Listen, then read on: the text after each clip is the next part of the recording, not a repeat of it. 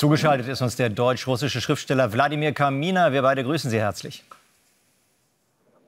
Ich grüße Sie auch. Guten Abend. Herr Kamina, aus Sicht von Wladimir Putin sieht das derzeit gar nicht so schlecht aus. Er zeigt sich siegessicher. In der Ukraine läuft seine Offensive. Die russische Wirtschaft, ja, wächst trotz aller Unkenrufe. Und die Opposition hat er faktisch ausgeschaltet. Wie sehen Sie denn seine Aussichten für die nächsten sechs Jahre?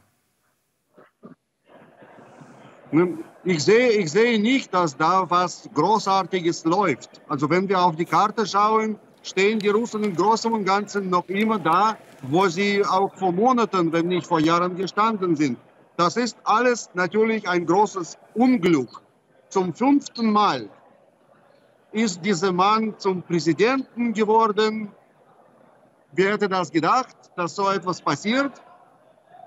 Wir müssen jetzt weiter äh, und ständig die Pampers wechseln wegen einer permanenten Drohung mit äh, nuklearen Waffen.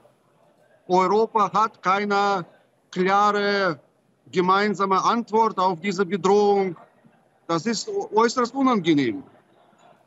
Unsere einzige Hoffnung ist, dass, dass dieses Wachstum der russischen Wirtschaft und der, die angeblichen Erfolge der russischen Armee äh, zum größten Teil Propagandageschichten sind.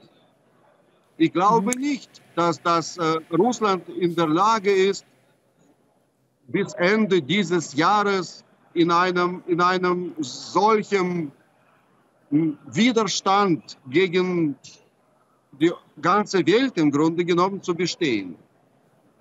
Das Aber glaube, steht denn das, das russische Volk weiter hinter Putin? Wie sieht das da aus mit der Zustimmung? Das russische Volk wird nicht gefragt, ähm, äh, ob, er zu, ob das russische Volk zustimmt oder sich was anderes denkt. Das, das werden wir nicht erfahren können. Da, ähm, natürlich ist das eine, eine absolute Blamage für eine Gesellschaft, die seit 25 Jahren von dem gleichen Kero sich regieren lässt. Aber es ist nun halt so, der Mann hat gezeigt, dass er keine Skrupel zeigt, Gewalt anzuwenden. Das ist ein gewaltbereiter Herrscher. Und in einer solchen Situation ist jede Kritik, jeder, Proze jeder Protest äh, eigentlich unmöglich. Unbewaffnete Menschen können gegen Panzer nichts einrichten. Deswegen äh, sitzt russisches Volk äh, zu Hause und äh, schaut fern. Also ist jetzt Putin ja im Grunde genommen ein, ein, ein, Diktator. Und Sie haben schon gesagt, das Ganze ist aus Ihrer Sicht auch ein großes Unglück. Ja, die EU, die kann ihn zumindest kritisieren, auch seine Wahl und sagt, ja, das Ganze war gar keine Wahl. Aber was sollte oder was kann die EU sonst noch machen? Sanktionen gibt es schon seit mehr als zwei Jahren. Man unterstützt die Ukraine, wo es geht. Aber was könnte denn Europa oder die EU noch tun? Na, die, die, die, EU soll genauer schauen da, in diese Richtung, was da passiert.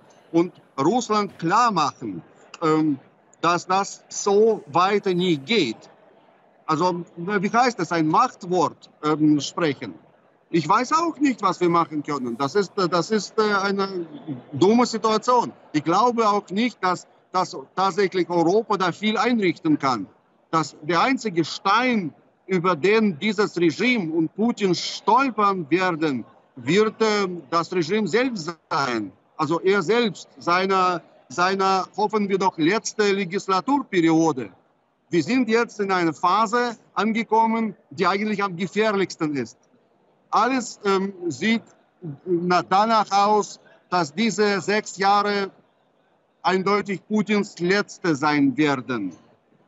Wie sie nun ausgehen, wir müssen einfach schauen, dass wir mit einer ausgewogenen Politik ähm, diesen Fass nicht äh, zu doll zum Kippen bringen. Also irgendwie wird dieses Regime sich selbst schon aufessen. Die fünfte Amtszeit von Wladimir Putin hat begonnen. Dazu Wladimir Kamina, deutsch-russischer Schriftsteller. Wir bedanken uns ganz herzlich für Ihre Zeit. Danke Ihnen.